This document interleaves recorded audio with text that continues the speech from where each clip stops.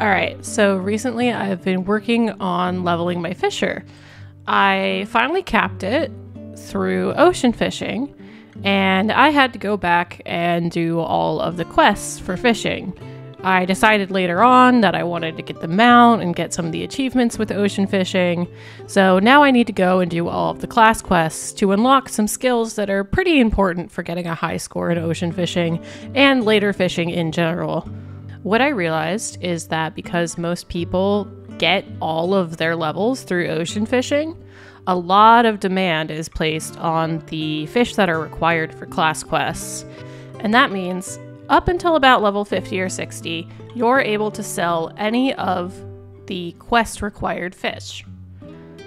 Now, if you're already going out there to get the fish for your quest, you may as well catch a few more. So here we have a list of all of the market sellable fish for Fisher quests and where to get them. I'm going to tell you up front, it's not that effective. But if you're looking for some new ideas, welcome to Making Gil for Dumb Bitches, Episode 3.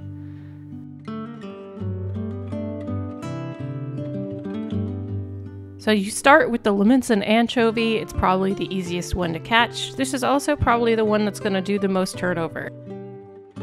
Next, we have the harbor herring. Once again, this one can still be caught, and Limsa Lominsa. Princess trout gets a little more complicated. This is probably one that sells a little more often because people don't want to have to leave Limsa. Uh, but it turns out you can already buy this from the culinarian supplier. So this would be another opportunity where, with what we learned in our last video, you could purchase this at a very low price without even needing fishing and sell it. Next we have the Navigator's Dagger. Again, simple, most of the early ones are based in La Noscea.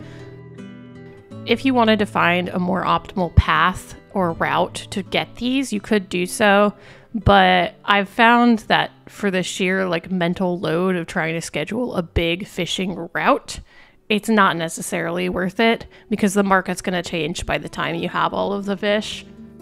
Coming in at the about halfway mark, you have shadow catfish. This is one of the first fish that requires mooching. You'd have to catch a striped goby at the same spot first, that is large, and then mooch it using it as bait for the shadow catfish. Now, the full moon sardine is our next fish. It's one of the first ones that has a time frame on it. So you want to make sure that you are going into catch this fish in between the hours of 7 p.m. and 5 a.m. Otherwise, you won't be able to catch it. Keep in mind that most bait can be purchased at a junk monger.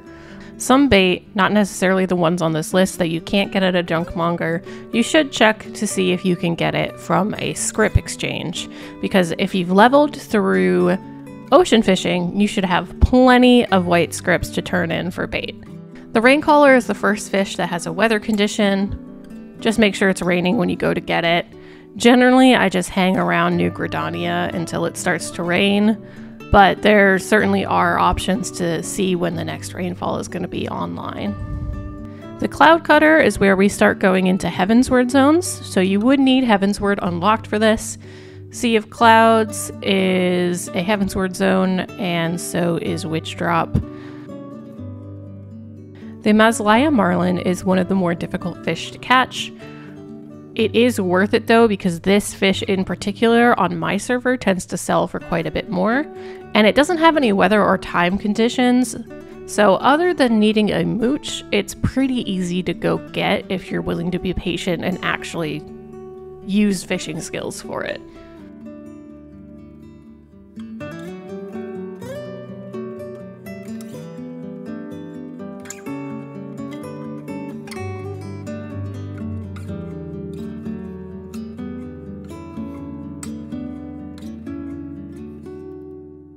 The letter puffer is another one that's in Heavensward zones.